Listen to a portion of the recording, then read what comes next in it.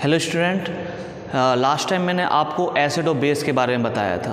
अब मैंने आपका एक शॉर्ट वीडियो तैयार किया है एसिड बेस टाइट्रेशन के बारे में, ठीक है?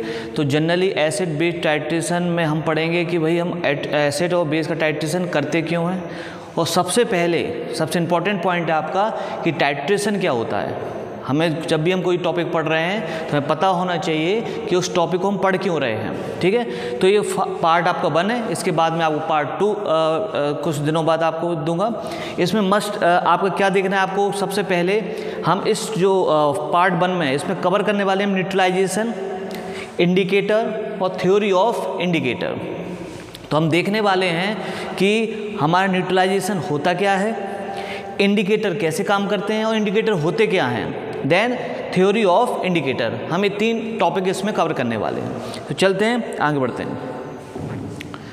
सबसे पहले हमारा टाइट्रेशन तो जब भी हम एसिड बेस टाइट्रेशन की बात कर रहे हैं तो सबसे पहले हमें पता होना चाहिए टाइट्रेशन क्या है। तो टाइट्रेशन क्या है? A simple a way of determine acid base concentration acid base concentration means क्या होता है? कंसंट्रेशन मीन्स होता है आपका, कोई आपका लिक्विड वन नॉर्मल है या टू नॉर्मल है, या थ्री नॉर्मल है, या फोर मोलर है, ये इसका कंसंट्रेशन कहलाता है, ठीक है? तो किसी भी सॉल्यूशन का हमें कंसंट्रेशन पता करना है तो उसका हमें पता लगाने के लिए हम क्या करते हैं? टाइट्रेशन करते हैं। जस्ट एग्जांपल बताता हूँ मैं आपको वन नॉर्मल एस तो वन नॉर्मल एस बनाने के लिए हमें जो हमारे IP में है, क्या है आपका? 85 एक्स इन थाउज़ेंड एम मतलब हमें 85 फाइव एम लेना है थाउज़ेंड एम तक उसको वॉल्यूम मेकअप करना है। तो हमारा वन नॉर्मल एससीएल बनता है। लेकिन कई बार क्या होता है, हमारा कई टाइप के एरर्स होते हैं, जो डिटरमाइन भी है अनडिटरमाइन भी है। मतलब जो दिखते भी हैं और जो हमें नहीं पता रहते हैं। ऐसे एरर तो हमें पता नहीं है। जैसे हमें लेना चाहिए था एटी फाइव लेकिन आपने लिया एट्टी फोर कहीं पर वेइंग में आपका डिस्टर्बेंस हुआ, कुछ भी हुआ, ठीक है? तो लेकिन आपका वन नॉर्मल सॉल्यूशन फिर वो नहीं बनता है। लेकिन उसको हम चेक के सिक द्वारा करते हैं टाइट्रेशन के द्वारा करते हैं। हम टाइट्रेशन से पता लगा लेते हैं कि हमारे जो सैंपल बना है, वो वन नॉर्मल सॉल्यूशन बना था जो हमने एससीएल वो हमारा राइट है या रॉन्ग है? ये हम पता लगाएँगे टाइट्रेशन से। उसके बाद हमें समझना होगा न्यूट्रलाइजेशन क्या होता है? हमारे इंडिकेटर्स कैसे वर्क करते हैं और इंडिकेटर कैसे वर्क करते हैं इंडिकेटर क्या होते हैं, ये हमें पता होना चाहिए। तो सबसे पहले हम बात करते हैं न्यूट्रलाइजेशन की। तो न्यूट्रलाइजेशन के लिए सबसे इंपॉर्टेंट चीज़ क्या है आपकी? कि ये समझना हमें न्यूट्रलाइजेशन होता क्या है। तो न्यूट्रलाइजेशन एक ऐसी प्रोसेस है जहाँ पर एसिड और बेस इक्वल अमाउंट में लिया जाता है। ठीक है? एसिड और बेस को इक्वल अमाउंट में लेते हैं तो वो क्या होता है आपका? सॉल्ट फॉर्मेशन करता है एंड वाटर का फॉर्मेशन करता है। यहाँ पर मान के चलते हैं हम एसिड का पीएच कितना भी हो सकता है। हम मान के चलते हैं 0.2 है। बेस यहाँ पर कितना भी हो सकता है? 13.5 लेकिन हम अगर इसको हमें न्यूट्रलाइज करना है तो हमें क्या करना पड़ेगा? इक्वल अमाउंट में उसको क्या देना पड़ेगा?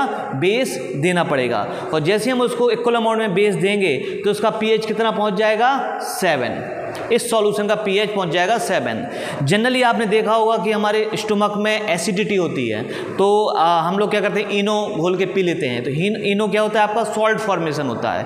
वो एक एल्कलाइन रहता है तो वो क्या करता है आपका एसिड को न्यूट्रलाइज कर देता है। और जैसे ही न्यूट्रलाइज होता है तो आपको आराम लग जाता है। अब हम इसको पढ़ लेते हैं देखिए। When a neutralisation reaction is when an acid a base react to a form water and salt जब हमारे एसिड और बेस आपस में रिएक्ट करते हैं तो क्या बनाते हैं? वाटर बनाते हैं और सॉल्ट बनाते हैं। ये जो चीज़ें बनाते हैं आपकी। और उस टाइम पर, उस टाइम पर हमारा पीएच कितना पहुँच जाएगा? ये देखिए।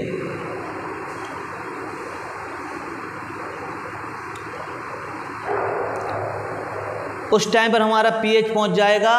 पीएच इक्वल टू सेवन मतलब सेवन तक हमारा पीएच पहुँच जाएगा। तो एक ऐसी रिएक्शन जहाँ पर एसिड और बेस अम्ल क्षार को जब हम आपस में मिलाते हैं इक्वल अमाउंट मिलाते हैं, बराबर अमाउंट में मिलाते हैं तो हमारा पीएच कहाँ तक पहुँचता है सेवन तक पहुँचता है। उस पॉइंट पर वो सॉल्यूशन क्या होता है? न्यूट्रलाइज हो जाता है। न्यूट्रलाइज मतलब पी एच सेवन पहुँच गया। हो पी एच सेवन किसका रहता है? आपका वाटर का।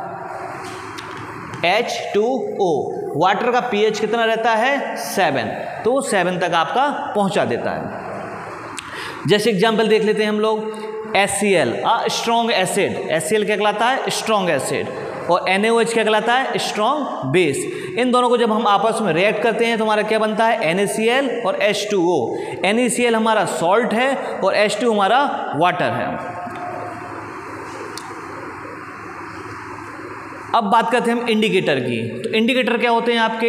इंडिकेटर जैसे हमारे गाड़ियों में लगे रहते हैं। इंडिकेटर, आपने राइट साइड का इंडिकेटर जलाया मतलब हमें राइट साइड जाना है। लेफ़्ट साइड का इंडिकेटर जलाया मतलब हमें लेफ़्ट साइड जाना है। यहाँ पर इंडिकेटर का मतलब है जो हमें इंडिकेट करे। क्या इंडिकेट करे कि इस पॉइंट पे हमारी रिएक्शन कंप्लीट हो गई है? वो कैसे करता है? कलर चेंज कर कर।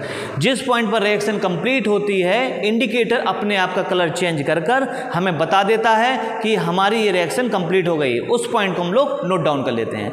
अब जब हम इस सॉल्यूशन की बात करते हैं तो आपको सॉल्यूशन में देखा होगा, अगर जब इसमें आपका ये रहेगा पहले कलरलेस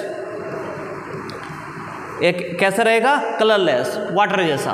कोई कलर नहीं रहेगा इसमें। और जैसे ही हम इसमें इंडिकेटर मिला देते हैं तो भी ये कलरलेस ही रहता है। लेकिन जैसे ही हमने उसमें टाइट्रेंट मिलाना स्टार्ट किया, और टाइट्रेंट मिलाते रहेंगे, जिस पॉइंट पर रिएक्शन कंप्लीट होगी, जिस पॉइंट पर रिएक्शन कौन सी reaction S C L plus NaOH ये आपस में रिएक्ट कर रहे हैं। लेकिन जिस पॉइंट पर न्यूट्रलाइजेशन होना है, वो पॉइंट हमें बताएगा कौन?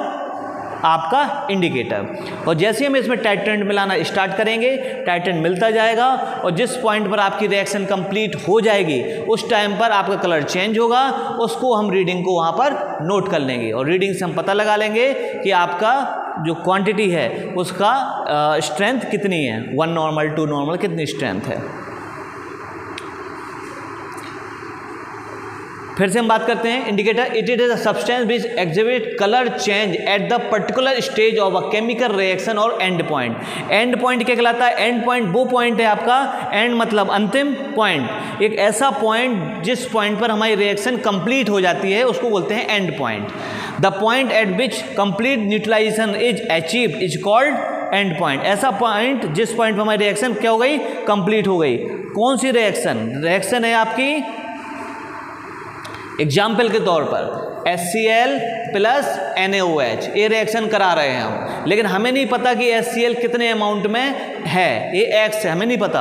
हम अब इसमें एन ओ एच मिलाना स्टार्ट करते हैं। तो कितना एन ओ एच मिलाना, हमें भी नहीं पता है। तो हम धीरे धीरे मिलाना स्टार्ट करते हैं। और जैसे ही रिएक्शन कंप्लीट हो जाती है मतलब इसका पीएच इसका पीएच कितना, दोनों मिला के कितना पहुँच गए यहाँ पर? सेवन पहुँच गए। तो यहाँ पर क्या हो जाएगा आपका? कलर चेंज हो जाएगा। और जैसे ही कलर चेंज हो जाएगा तो हमें पता चल जाएगा, इस पॉइंट पर हमारी रिएक्शन कंप्लीट हो गई है। कौन सी रिएक्शन न्यूट्रलाइजेशन रिएक्शन अब इंडिकेटर को कैसे पता चल रहा है कि हमें उसी पॉइंट पर कलर चेंज करना है? ये बहुत बड़ा क्वेश्चन था कि इंडिकेटर को कैसे पता चल रहा है कि भाई उस पॉइंट पर कलर चेंज करना है? न्यूट्रलाइज रिएक्शन जो हो रही है, वो अपने जैसी हो रही है। लेकिन इंडिकेटर को कैसे पता चला? हाउ टू नो तो इसके लिए हमारे पास दो साइंटिस्ट आए। एक पहले थे हमारे ओस्टवाल्ड तो ओस्टवाल्ड ने एक थ्योरी प्रोड्यूस की। ओस्टवाल्ड ने बताया कि कैसे इंडिकेटर वर्क करता है। तो उन्होंने बताया कि जैसे इंडिकेटर है इंडिकेटर को उन्होंने बोला, ये वीक एसिड और वीक बेस होते हैं। Indicator are weak acid and weak base जब अब ये अनआइनाइज फॉर्म में रहेंगे अनआइनाइज फॉर्म अनआइनाइज फॉर्म क्या कहलाता है आपका? जैसे कि आपका एस सी एल ये आपका अनआइनाइज फॉर्म है. ये आयनाइज नहीं हुआ है. अब इसको अगर हम आयनाइज करते हैं तो एच पॉजिटिव और सी एल नेगेटिव इसमें क्या हो जाता है? आयोनाइज हो जाता है. उनके अकॉर्डिंग जो भी आपके इंडिकेटर हैं, वो वीक एसिड वीक बेस हैं। और जब अनआयनाइज फॉर्म में रहते हैं तो ये कैसे रहते हैं? कलरलेस कोई कलर नहीं रहता है इसमें और जैसे ही ये आयनाइज हो जाते हैं तो ये क्या हमें प्रोड्यूस करते हैं? कलर प्रोड्यूस करते हैं। फिर क्वेश्चन उठा कि भाई, अब आयनाइज कलर वो तो हो गए आपके अनआइनाइज फॉर्म में कलरलेस हो गए आयनाइज्ड में कलरफुल हो गए। लेकिन इंडिकेटर को कैसे जिस पॉइंट पर एंड पॉइंट हुआ, उसी पॉइंट पर वो डिसोसिएट हो रहा है। ऐसा क्यों हो रहा है? तो उसके लिए आगे आया common ion effect common ion effect common ion effect क्या कहलाता है? जब भी किसी सॉल्यूशन में आपके पास दो सॉल्यूशन है आपके पास दो सॉल्यूशन है, ठीक है? इसमें, इसी इसी में आपके टू सॉल्यूशन है। तो फ़र्स्ट सबसे पहले आपने इसमें क्या मिलाया? एस ठीक है? एस मिलाने के बाद आपने इसी में मिला दिया इंडिकेटर एच आई एन ठीक है? तो एच आई एन मिला दिया हमने इंडिकेटर मतलब एसिडिक इंडिकेटर मिला दिया। तो इसमें हमने देखिए, कौन सा आयन कॉमन है आपका? हाइड्रोजन आयन कॉमन है। तो according to common ion effect जो लार्ज कंसंट्रेशन में होगा मतलब यहाँ पर एससीएल मान के चलते हम 50 एम है, ठीक है? और जो एच आई एन है आपका इंडिकेटर है, वो आपका फाइव ड्रॉप है। ठीक है? तो लार्ज कंसंट्रेशन में होगा लार्ज अमाउंट में होगा, जो ज़्यादा मात्रा में होगा, वो स्मॉल जो कम मात्रा में होगा, उसके डिसोसिएशन को सप्रेस कर देता है। मतलब उसके डिसोसिएशन को रोक देता है। उसको उसको डिसोसिएट नहीं होने देता। उसको आयोनाइज नहीं होने देता। कब तक आयोनाइज नहीं होने देगा? जब तक कि वो पूरा का पूरा प्रेजेंट है। अब उसके बाद क्या होता है? हम इसमें एन मिलाना स्टार्ट करते हैं। और जैसे हमने एन मिलाना स्टार्ट किया तो ये क्या होता है आपका? न्यूट्रलाइजेशन प्रोसेस स्टार्ट हो जाती है। एक टाइम पर एन पूरे के पूरे एससीएल को न्यूट्रलाइज कर देता है। मतलब सब फिनिश कर देता है आयन्स को। और जैसे ही आपके एस ख़त्म हो जाता है, पूरा एससीएल आपका क्या हो गया? ख़त्म हो गया। क्यों ख़त्म हो गया? क्योंकि एन ने एस के साथ रिएक्ट करके एन बना लिया।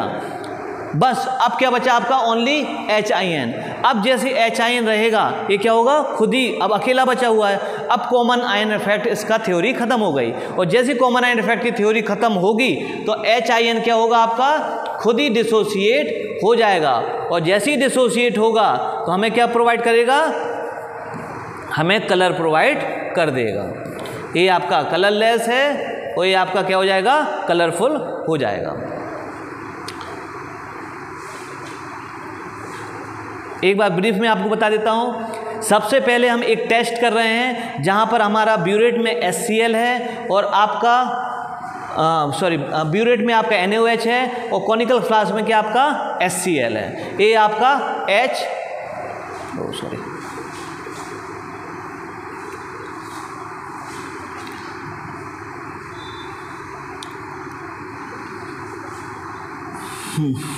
ठीक है? तो अब क्या है आपका देखिए। यहाँ पर एच सी एल इसका फॉर्मूला है एच सी एल इसमें कुछ ड्रॉप मिला दी हमने किसके? फिनोप्थलीन इंडिकेटर के। फिनोप्थलीन इंडिकेटर इसके मैंने ड्रॉप मिलाए फाइव ड्रॉप ओनली ठीक है? इसको मान के चलते हम टेन एम एल है ठीक है?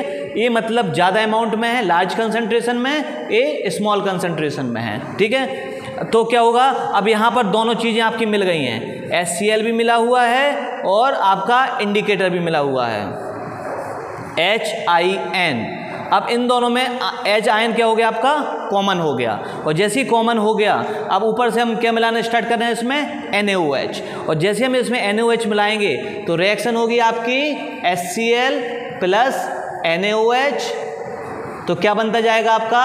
N A C L plus H two O ये आपका बनना स्टार्ट हो गया। जैसे जैसे हम एन बनाना स्टार्ट करेंगे, यहाँ पर ये वाली रिएक्शन होना स्टार्ट हो जाएगी। जितने भी उसको एस चाहिए हैं, उसको प्रोवाइड हो जाएँगे, या कॉमन आयन फैट की वजह से आपका एच आई एन डिसोसिएट नहीं होगा। जब तक डिसोसिएट नहीं होगा, जब तक कि आपका large S C L present है। और जैसे एस सी एल आपका पूरा कंज्यूम हो जाएगा तो आपका एच आई एन आपका रिलीज़ हो जाएगा। इंडिकेटर जो होते हैं आपके, ये अनडिसोसिएट फॉर्म में कैसे रहते हैं? कलरलेस और जैसे ही डिसोसिएट मतलब आयनाइज हो जाते हैं तो हमें क्या प्रोवाइड करते हैं? कलर प्रोवाइड करते हैं। और जैसे ही आपका एन आप एस बनाना स्टार्ट करोगे तो क्या होगा आपका? ये रिएक्शन कंप्लीट हो जाएगी।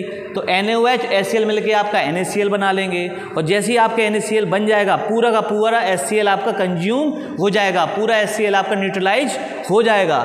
तो अब क्या आ जाएगा आपका? एच आई एन क्या होगा आपका? डिसोसिएट हो जाएगा आयनाइज्ड हो जाएगा। और जैसे आयनाइज्ड होगा तो हमें क्या मिल जाएगा? एक कलर मिल जाएगा। तो हम यहाँ पर रीडिंग नोट कर लेंगे कि हमारा 13.5 पर रीडिंग आई है, जिस पॉइंट पर हमारा पूरा पूरा एस सी एल जो था, वो न्यूट्रलाइज हो चुका था।